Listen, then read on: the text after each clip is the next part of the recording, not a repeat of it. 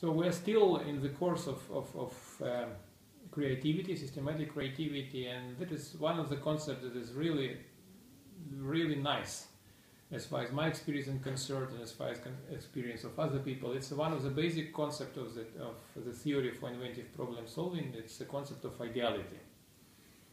And uh, it is interesting to, uh, to understand, to learn what, what, what does it mean, ideality, in terms of TRIZ.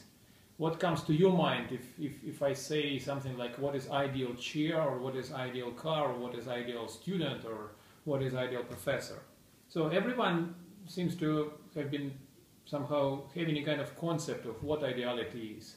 And uh, actually, I, I, made a kind of experiment. I, I, I, went to Google search and then tried to find uh, uh, to type in a, question: what is what is ideal car, what is ideal teacher, or what is ideal watch? And it was interesting to get images. What what Google understand? Well, most of people understand uh, uh, by the concept of ideal car. Well, I get uh, a number of or you can get a number of, of images of ideal car and sometimes it's Rolls Royce, sometimes it is a comfortable car, sometimes it is cheap car, sometimes it is uh, well uh, some fancy car or something like this. And uh, if you try to ask Google what is ideal watch, you type ideal watch in your, in your in your search screen and you will get some well maybe Rolex, maybe a sport watch or something like this. And if you ask what ideal teacher is, actually you will get a, a a lot of diagrams, a lot of lists. Well, either teacher should, who should, you know, um, should be polite, should be competent, and so on and so on. Well, these are these are legal uh, understanding and valid understanding of ideality, what it is, and there are different uh, different opinions on it. If we were able to ask uh, um, about ideal things, uh, uh, philosophers that lived long time ago. Um, and one of those, those philosophers uh, were uh, Lao Tzu, uh, a Chinese philosopher who lived like 500 years before, before Jesus. The answer would be very impressive. Well, actually, at that time, uh, China was that so so developed con- concerning the neighboring countries that they they were they could afford thinking about abstract things. They had a philosophy, a school of philosophy, and there were some smart people, and they thought about what does it mean to be ideal everything. But the, the, uh, the, most, the most critical question was what does it mean to be ideal person, to be ideal ruler, to be ideal king? And uh, there were there were several schools of philosophy, and one of the most famous was the school of Confucius. But Confucius was a kind of uh, paid by the government person, so he he developed a kind of list that ideal ideal uh, ruler had to be polite, had to be uh, you know to play uh, to play flute, to, to, to be good at swording, and so on and so on. And so he made a kind of specification, a kind of uh, a technical description of the system called uh, ideal ruler. And his opponent, uh, who was a kind of informal thinker, a free thinker, his name was Lao Tzu, and he is believed to, to be, uh, to, uh, to be the, the founder of, of, of Zen Buddhism, a very nice branch of, of, of uh, also ancient philosophy. Um, uh, he said that ideal ruler is no ruler, but everyone is happy. Ev- everything is in order. And that the concept was, was really, really amazing. That means like, uh, let just think about what, what does it mean to be ideal policeman, for example. That is a kind of a part of ruler. uh, uh, ideal policeman has to be polite, has to speak many languages, and so on and so on. But let us imagine why do we need a policeman? We need policemen to make a, to, to, to, to keep things in order, right? So when uh, everything is in order, we don't need policemen. So and it somehow you know gives a kind of proof for the concept that ideal system is no system, but the function is performed. And uh, that is actually actually was uh, somehow uh, said by the founder of TRIZ, Genrich Altshuller, more than 50 years ago, he said uh, he came up with a, a, definition of ideality. He called it ideal final result definition. The concept was a little bit well unusual. Uh, ideal system, ideal technical system is no system, but the function is performed. The product appears like this.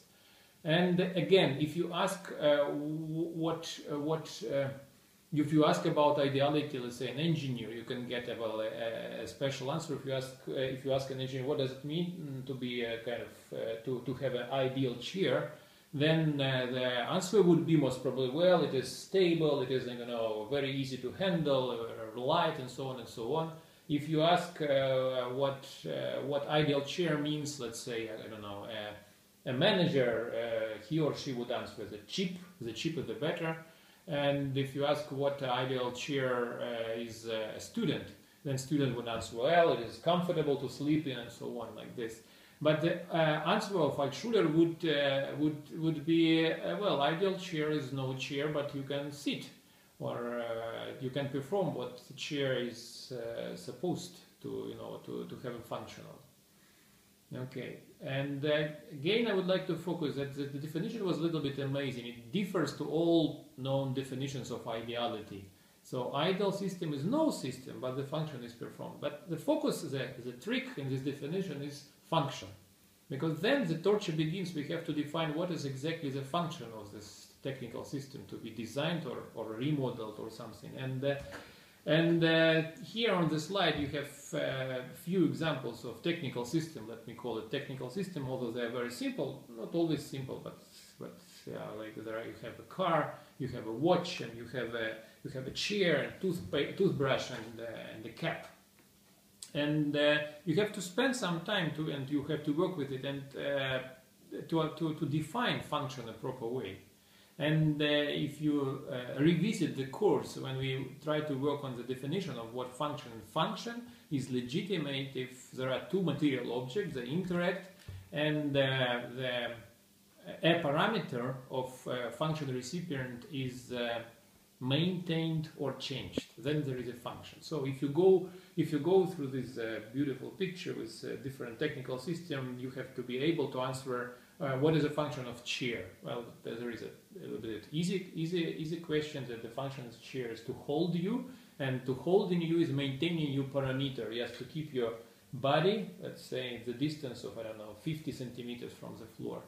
And the function of car would be uh, to to move you from uh, point A to point B, and uh, the rest is not so easy. What is the function of, of toothbrush? And uh, we, we went through this exercise a little bit before, and the function we, we somehow defined. We agreed that the function of toothbrush is A, to, uh, to distribute the toothpaste, and the second is to, uh, to, to remove, uh, uh, to remove, let's say, food, or to remove the plaque from, from your tooth from your teeth, yeah, and it is a function, not to clean teeth. It is a little bit declarative because you have to explain exactly which parameter of tooth or teeth, uh, you know, maintained or, or, or, or changed.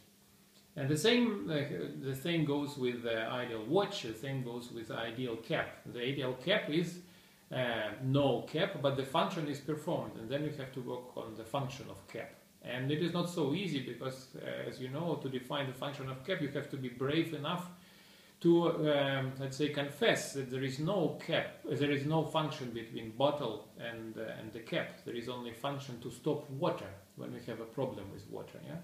And the function of watch is not to please yourself, you know, to be expensive watch, but rather to tell you time, to inform you. So your parameter, your informness is somehow changed or maintained. That, that the, the, the, watch somehow informs you on the time. Okay, again coming back, the first part of the definition is easy. Uh, well, ideal chair is no chair, but the function is performed. And the second part, in the second part, we have to define what is the function.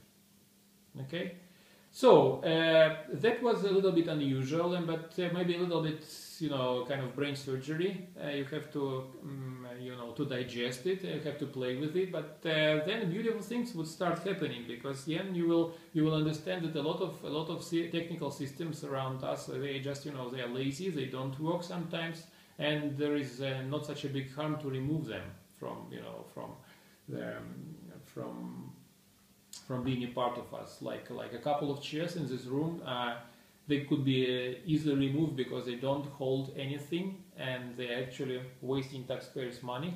Uh, so ideal chair it would be definitely ideal chair, but when I need chair, when I make like this, then I have an ability to, to you know to sit or to you know to hold myself in a way.